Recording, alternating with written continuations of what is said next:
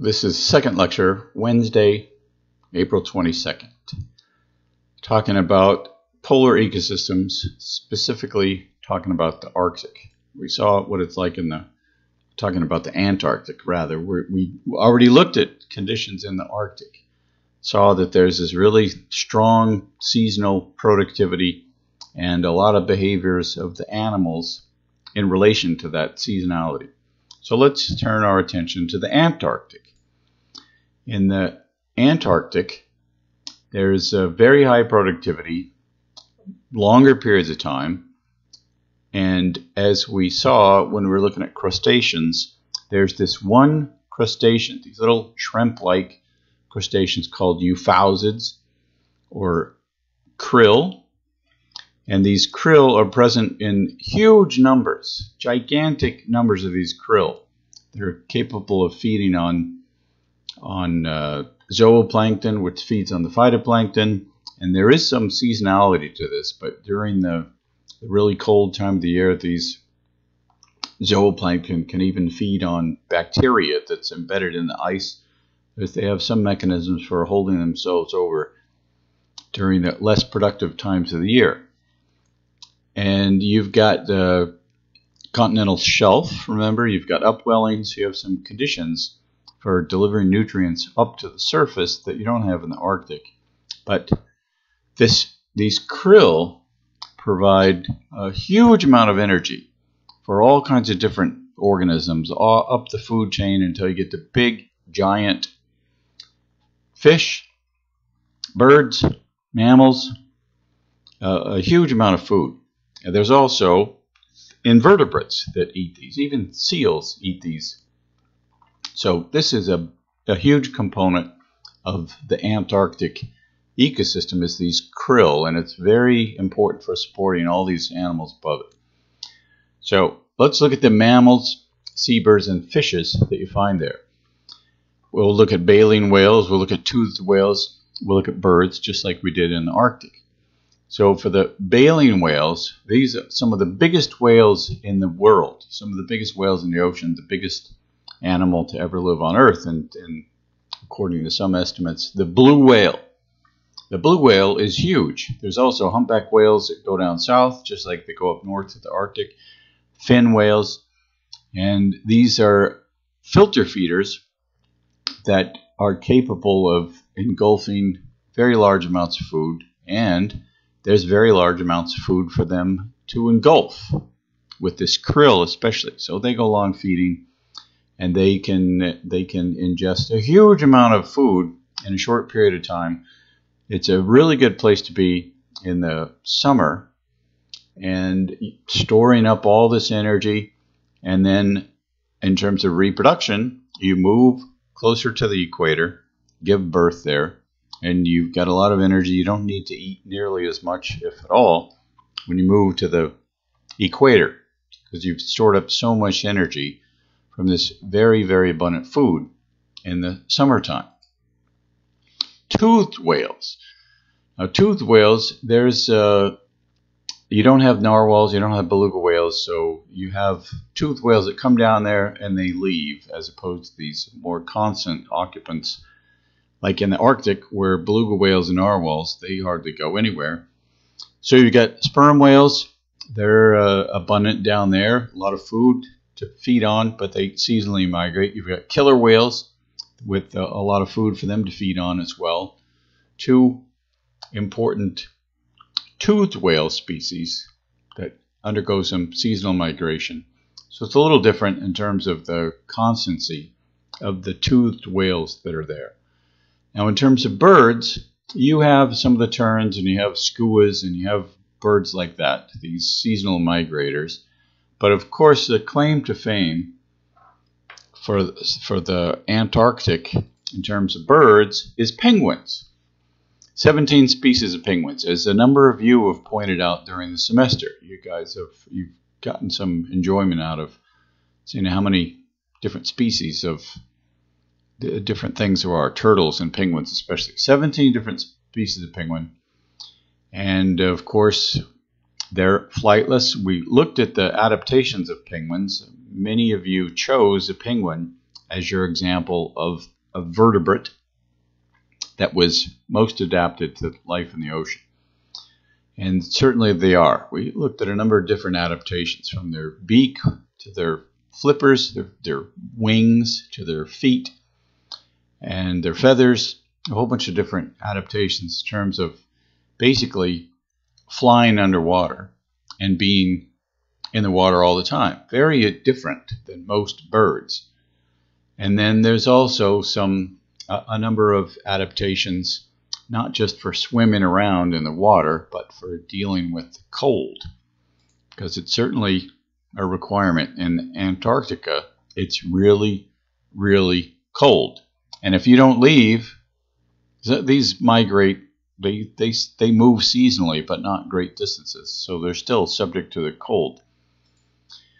So they're present in very large numbers, to giant colonies.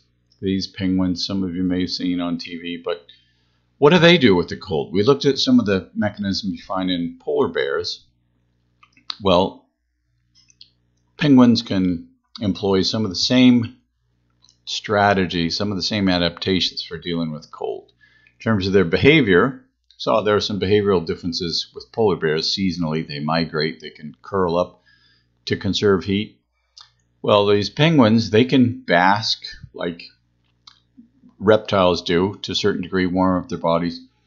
But they can also they huddle together like those that big giant mass that I showed you before in this huddling picture there. They huddle together, and the penguins that are in the inside can conserve a huge amount of heat.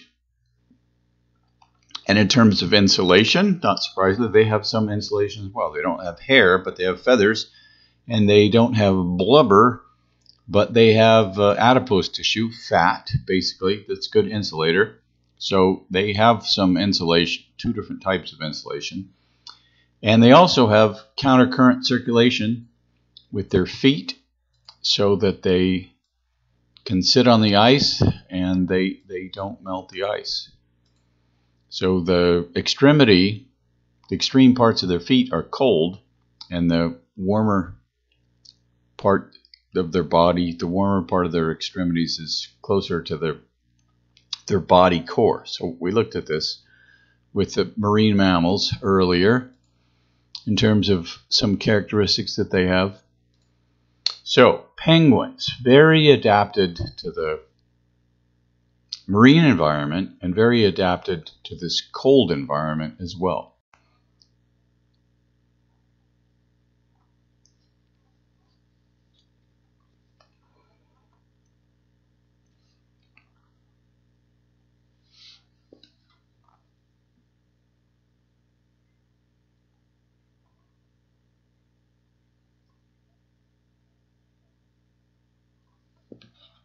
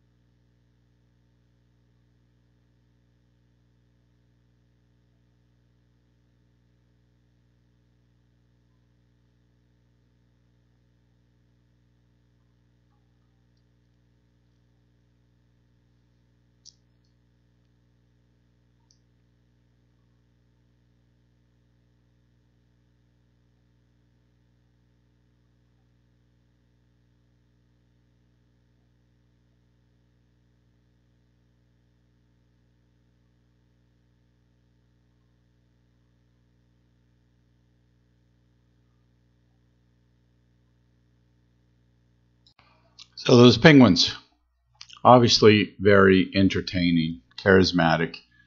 And uh, if you go to aquariums, in, including the Mystic Aquarium, I think there's penguins all over the place. They're they're very common, very entertaining, popular display species for aquaria, and you find those a lot of different places, a lot of different aquaria. Well, the last thing that I want to talk about that really is more limited to the Antarctic than the Arctic. There isn't so much of a an equivalent in the Arctic as there is in the Antarctic. But there's this family of fish, the Nototheniidae, Thenoidae, that uh, are these ice fish that uh, have these different characteristics. Basically, they have antifreeze in their bodies. And there's a couple of different forms of this antifreeze. There's glycerol, which which won't freeze, and there's uh, these proteins. Some of the proteins are just regular proteins, and some of them are glycoproteins, so they have a, a carbohydrate that's attached to them as well. And so in the the tissue of these fish, they contain these antifreeze compounds, and it prevents the formation of ice crystals in their body. In fact, their bodies can be super cooled. Their bodies can be colder than seawater, They can be colder where normally, if they didn't have these antifreeze proteins in their bodies, then their water in their body would freeze. But they're even colder than the temperature at which water freezes. So there's one of those fish in the picture. And then down there in the below, you see this uh, rate of enzyme activity, these different fish in this family, and you can see that they they their body temperature goes all the way down below zero, super cooled. And if you're familiar with the with uh, the ocean, we've looked at the temperature of the ocean. Some places it's really really cold, two degrees Celsius. So this is zero degrees, and as you probably know, that's the temperature at which water freezes. But with these antifreeze compounds that they have in their body, they can avoid freezing. It's a really uh, unique and within this family anyway, it's widespread adaptation for tolerating these very, very cold waters. So that takes us through all these different marine ecosystems. We started with some very close to shore, went out into the open ocean, and then recently these highly specialized, somewhat uh, harsh environments, extreme environments that require certain level of adaptations to be able to survive there. There's a lot of marine organisms that live there, but they have certain characteristics that enable them to survive. So the last part of this course for the next two days, for Friday's lecture and Monday's lecture, we're going to talk about humans and marine ecosystems. Now, you can take entire courses. You can major in marine affairs, as some of you are, which is really what this falls into. But there's so many humans on Earth, and, and humans have such a big influence on other things that uh, extends all over the world. Pollutants, climate change, harvesting, habitat destruction, all kinds of different factors influence other organisms, and a lot of those organisms are marine organisms. So that's what we're going to focus our attention on on the very last two lectures of this course.